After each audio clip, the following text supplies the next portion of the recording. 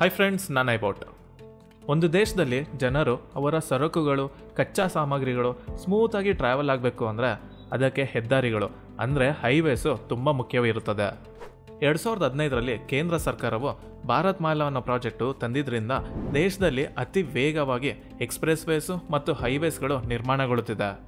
ಎರಡು ಸಾವಿರದ ಇಪ್ಪತ್ತೈದರ ಒಳಗಡೆ ಕನಿಷ್ಠವಾಗಿ ಇಪ್ಪತ್ತಾರು ಗ್ರೀನ್ ಎಕ್ಸ್ಪ್ರೆಸ್ ವೇಸ್ಗಳನ್ನ ನಿರ್ಮಿಸುವ ಗುರಿಯನ್ನು ಭಾರತ ಸರ್ಕಾರ ಹೊಂದಿದೆ.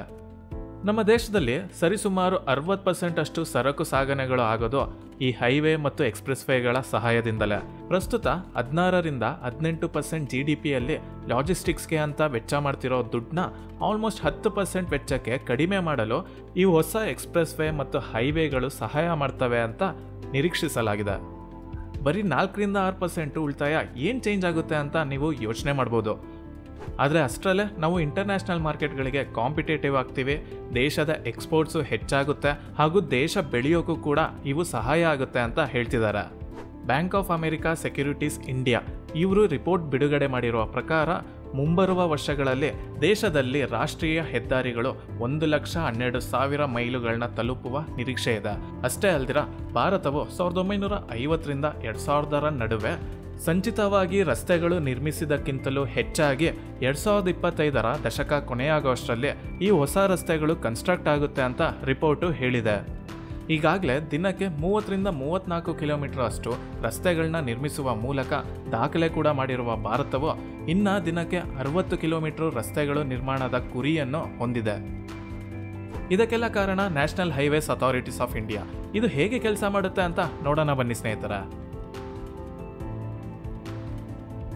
ಸ್ನೇಹಿತರ, ಎರಡ್ ಸಾವಿರದ ಹದಿನಾಲ್ಕರ ಮುಂಚೆ ಭಾರತದಲ್ಲಿ ಬರೀ ಹದಿನೈದು ಎಕ್ಸ್ಪ್ರೆಸ್ ವೇಗಳು ಇದ್ದವು. ಇದರ ಟೋಟಲ್ ಕಿಲೋಮೀಟರ್ ಬಂದು ಎಂಟುನೂರ ಮೂವತ್ತಾರು ಕಿಲೋಮೀಟರ್. ಆದರೆ ಈಗ ಹೈವೇ ಅಥಾರಿಟಿಯವರ ಆಪರೇಷನ್ಸು ಪೂರ್ಣ ರೀತಿಯಲ್ಲಿ ಬದಲಾಗಿದೆ. ಎರಡು ಸಾವಿರದ ಹದಿನಾಲ್ಕರಿಂದ ಸಾವಿರದ ಎಂಟುನೂರ ಎಂಬತ್ತೆರಡು ಕಿಲೋಮೀಟರ್ ಅಷ್ಟು ಹೊಸ ಎಕ್ಸ್ಪ್ರೆಸ್ ವೇಸ್ನ ಆಲ್ರೆಡಿ ಓಪನ್ ಮಾಡಿದ್ದಾರೆ. ಆರು ಸಾವಿರದ ಎಂಟುನೂರ ಎಂಬತ್ತೊಂಬತ್ತು ಕಿಲೋಮೀಟರ್ ಅಷ್ಟು ಎಕ್ಸ್ಪ್ರೆಸ್ ವೇಸ್ನ ಇನ್ನೂ ಕನ್ಸ್ಟ್ರಕ್ಷನ್ನಲ್ಲಿದೆ. ಅದು ಕೂಡ ಫೈನಲ್ ಫೇಸಲ್ಲಿದೆ. ಹನ್ನೊಂದು ಸಾವಿರದ ಎಂಟುನೂರ ಎಂಬತ್ತ್ಮೂರು ಕಿಲೋಮೀಟರ್ ಅಷ್ಟು ಎಕ್ಸ್ಪ್ರೆಸ್ ವೇನ ಮುಂಬರುವ ವರ್ಷಗಳಲ್ಲಿ ಪ್ರಾರಂಭ ಮಾಡಲಾಗುತ್ತಿದೆ ಅಂತ ವರದಿ ಇದೆ. ಇವರು ಇಷ್ಟೆಲ್ಲ ಮಾಡೋದಕ್ಕೆ ದುಡ್ಡು ಎಲ್ಲಿಂದ ಬರುತ್ತೆ ಗೊತ್ತಾ? ಭಾರತದಲ್ಲಿ ಬೇರೆ ಏಜೆನ್ಸಿಗಳು ಕೇಂದ್ರ ಸರ್ಕಾರದಿಂದ ಅಥವಾ ರಾಜ್ಯ ಸರ್ಕಾರದ ಕಡೆಯಿಂದ ಡಿಮ್ಯಾಂಡ್ ಮಾಡ್ತಾರೆ. ಇಲ್ಲ ತುಂಬ ಸಲ ಎಕ್ಸ್ಟರ್ನಲ್ ಏಜೆನ್ಸಿ ಅವರ ಜೊತೆ ಲೋನ್ ತಗೊಂಡು ಕೆಲಸ ಶುರು ಮಾಡ್ತಾರೆ. ಆದರೆ ಎನ್ ಎಚ್ ಎ ಅವರು ತನ್ನ ಫೈನಾನ್ಸ್ನ ತುಂಬ ಚೆನ್ನಾಗಿ ಸಾರ್ಟ್ ಔಟ್ ಮಾಡ್ಕೊಂಡಿದ್ದಾರೆ. ಇನ್ಫ್ಯಾಕ್ಟ್ ಇದೊಂದೇ ಏಜೆನ್ಸಿ ನೋಡಿ, ದೇಶದಲ್ಲಿ ಕೇಂದ್ರ ಸರ್ಕಾರದ ದುಡ್ಡು ಇಲ್ಲದೇನೋ ತನ್ನ ಕೆಲಸ ಮಾಡ್ಬೋದು ಅಂತ ತೋರಿಸ್ತಿದೆ. ಇವರು ಇತ್ತೀಚೆಗೆ ಹೊಸ ರೋಡ್ಸ್ನ ಏನು ಮಾಡ್ತಿದ್ದಾರೆ, ಅದು ಈ ರೀತಿಯಾಗಿ ಡಿಸೈನ್ ಮಾಡ್ಕೊಂಡಿದ್ದಾರೆ. ಬರೋ ಹದಿನೈದರಿಂದ ಇಪ್ಪತ್ತು ವರ್ಷಗಳಲ್ಲಿ ತನಗೆ ಆದ ಖರ್ಚು ತಾನೇ ಪೇ ಮಾಡ್ಕೊಳ್ಳೋದು. ಅದೇ ಸಮಯದಲ್ಲಿ ಫ್ಲೆಕ್ಸಿಬಲ್ ರೀತಿಯ ಅಸೆಟ್ಸ್ ಮಾಡೋದು. ಅದರಲ್ಲಿ ಪ್ರೈವೇಟ್ ಪ್ಲೇಯರ್ಸ್ಗಳಿಗೆ ಇನ್ವೆಸ್ಟ್ಮೆಂಟ್ಸ್ ಆಪರ್ಚುನಿಟೀಸ್ನ ಕೊಡೋದು. ಇದರಲ್ಲಿ ಟಾಲ್ಸಿಂದ ಹಿಡಿದು ರಸ್ತೆ ಬದಿಯಲ್ಲಿ ಸಿಗೋ ಸೌಕರ್ಯಗಳು ಲ್ಯಾಂಡ್ ಸೇಲು ಕಾಂಟ್ಯಾಕ್ಟಿಂಗ್ ಡಿಸ್ಕೌಂಟ್ಸು ಇವೆಲ್ಲ ಒಳಗೊಂಡಿರುತ್ತೆ. ಇನ್ನು ಸ್ವಲ್ಪ ಕಾಂಪ್ಲೆಕ್ಸ್ ಆಗಿ ಹೇಳಬೇಕು ಅಂದರೆ ಎನ್ ಎಚ್ ಎ ಅವರು ಹೊಸ ಟ್ರಸ್ಟ್ನ ಶುರು ಮಾಡಿದ್ದಾರೆ ಅದರಲ್ಲಿ N H A I infrastructure investment trust ಅದೇ ಇನ್ವಿಟ್ ಸ್ಕೀಮ್ ಇದರ ಅನುಸಾರ ಹೈವೇ ಅಥಾರಿಟಿಯವರು ಏನು ಮೂಲಭೂತ ಸೌಕರ್ಯಗಳನ್ನ ಮಾಡಿರುತ್ತೆ ಅದರ ಮೇಲೆ ಪ್ರೈವೇಟ್ ಕಂಪನೀಸ್ ಅಥವಾ ಆರ್ಗನೈಸೇಷನ್ಸು ಇನ್ವೆಸ್ಟ್ ಮಾಡೋದು. ಸ್ನೇಹಿತರ ಫ್ಯೂಚರ್ನಲ್ಲಿ ಈ ಸ್ಕೀಮ್ ಮೇಲೆ ಸಾಮಾನ್ಯ ಜನರು ಕೂಡ ಇನ್ವೆಸ್ಟ್ ಮಾಡ್ಬೋದು ಅನ್ನೋ ಪ್ಲ್ಯಾನ್ ಇದೆ. ನೀವು ಹೇಗೆ ಸ್ಟಾಕ್ಸ್ ಮೇಲೆ ಇನ್ವೆಸ್ಟ್ ಮಾಡ್ತೀರೋ ಅದೇ ರೀತಿ ಇದರ ಮೇಲೆ ಮಾಡಿದ್ರೆ ಎಂಟರಿಂದ ಒಂಬತ್ತು ಪರ್ಸೆಂಟ್ ಅಷ್ಟು ಅಶ್ಯೂರ್ಡ್ ರಿಟರ್ನ್ಸು ಪರ್ ಆ್ಯನಮ್ ಬರುತ್ತೆ ಅಂತ ಹೇಳ್ತಿದ್ದಾರೆ. ಇದರಿಂದ ಅವರು ಹೆಚ್ಚು ರೋಡ್ ಮಾಡಿದ್ರೆ ಇನ್ವೆಸ್ಟ್ ಮಾಡಿರೋರಿಗೆ ಹೆಚ್ಚು ದುಡ್ಡು ಕೂಡ ಸಿಗುತ್ತೆ.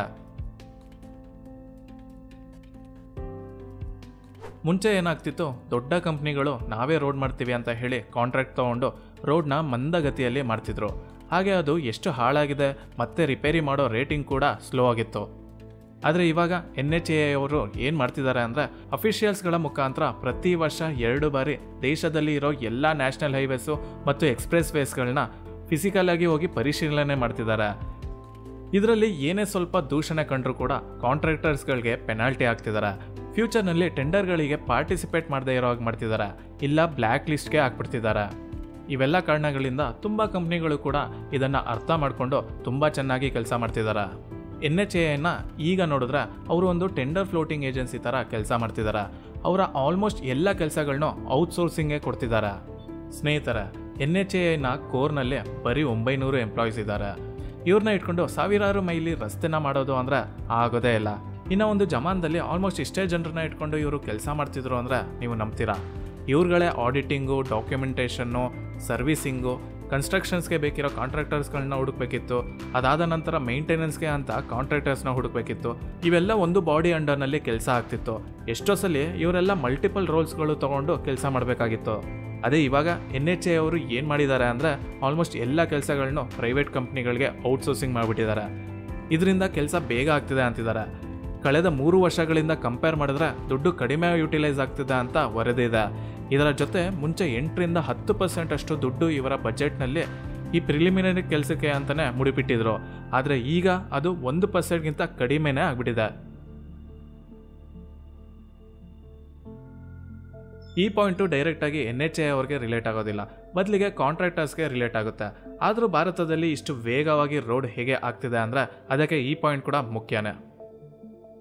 ವಿಶ್ವದ ಅತಿ ದೊಡ್ಡ ಸಿಮೆಂಟ್ ರೋಡ್ ಮೇಕಿಂಗ್ ಮಿಷಿನು ಏನಿದೆ, ಅದು ಭಾರತದಲ್ಲಿ ಪ್ರಸ್ತುತವಾಗಿದೆ.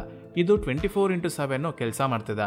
ಇದರ ಜೊತೆ lighter service, traffic simulations, G P S ಅಥವಾ ಆಟೋಮೆಟಿಕ್ ಟೋಲ್ ಕಲೆಕ್ಟಿವ್ ಸಿಸ್ಟಮ್ಸು, ಇವೆಲ್ಲವೂ ಕೂಡ ಕೆಲ ವರ್ಷಗಳಿಂದ ಬಂದ ಮೇಲೆ ಎಲ್ಲೆಲ್ಲಿ ಲಾಸ್ ಆಗ್ತಿತ್ತು ಹಾಗೂ ಟೈಮ್ ವೇಸ್ಟ್ ಆಗ್ತಿತ್ತು, ಅವೆಲ್ಲವೂ ಕೂಡ ರಿಕವರ್ ಆಗ್ತಿದೆ. ಸ್ನೇಹಿತರ, ಇವೆಲ್ಲ ಕಾರಣಗಳಿಂದ ಭಾರತ ಈಗ ರಸ್ತೆಗಳನ್ನ ಅತಿ ವೇಗವಾಗಿ ಮಾಡ್ತಿದ್ದಾರೆ. ನೋಡಿದ್ರಲ್ಲ ಫ್ರೆಂಡ್ಸ್ ಈ ವಿಡಿಯೋ ಇಷ್ಟ ಆಗಿದ್ರೆ ಲೈಕ್ ಶೇರ್ ಮಾಡಿ ನಿಮ್ಮ ಅನಿಸಿಕೆಯನ್ನು ಕಮೆಂಟಲ್ಲಿ ತಿಳಿಸಿ ಅಂತ ಹೇಳ್ತಾ ಮುಂದಿನ ವಿಡಿಯೋನಲ್ಲಿ ಸಿಗ್ತೀನಿ. ಧನ್ಯವಾದಗಳು.